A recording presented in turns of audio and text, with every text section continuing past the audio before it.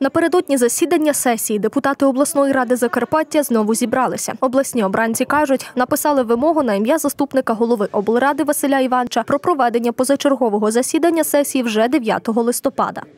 Ми спільно підписали вимогу про скликання позачергової сесії. Ця вимога має пряму дію. Від неї від цієї сесії вже не залежить, не залежить позиція голови обласної ради або керівництва, і вона має бути скликана згідно закону та регламенту обласної ради.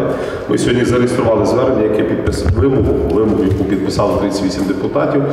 Нагадаємо, перипетії у обласній раді тривають вже з 28 жовтня. Тоді обласні обранці зібралися на чергове засідання сесії. Та за кілька хвилин до початку роботи Олексій Петров сесію відмінив. Депутати ж все одно зібрали кворум і прийняли ряд важливих рішень, серед яких і дострокове припинення повноважень голови обласної ради. Та Олексій Петров знову на робочому місці із рішенням депутатів не погодився. А вже цими вихідними чиновник знову заблокував роботу ради. Відмінив розпорядження про проведення сесії, яка мала відбутися у суботу.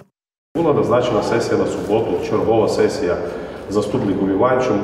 В п'ятницю була погоджувальна рада між головами фракцій, де все обговорили в сценарій. І в п'ятницю ввечері, 21.00, Петров відкликає себе з відпустки і скасовує цю сесію. Скажіть, будь ласка, ну всі ж розуміють, що в 21.00 ніхто себе не може викликати з відпустки, це вже поза робочий час. Обласна рада не є органом там швидкого реагування, це не поліція, не якась дипломатична служба, де це передбачено законом, що цілодобово можна відкликати відпустки. Тому ми майже маємо конкретне порушення зловживання владою. У суботу депутати все одно зібралися на збори. Однак у поліцію хтось повідомив про замінування приміщення, тому вкотре перенесли засідання. І щоб їх колега знову не втрутився у роботу ради, депутати офіційно подали вимогу про проведення сесії вже 9 листопада. Документ зареєстрували.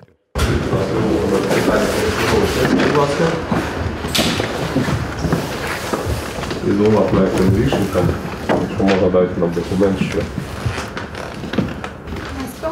Так, тепер йдемо до заступника, так? Каже, що його нема, але ми до нього зайдемо.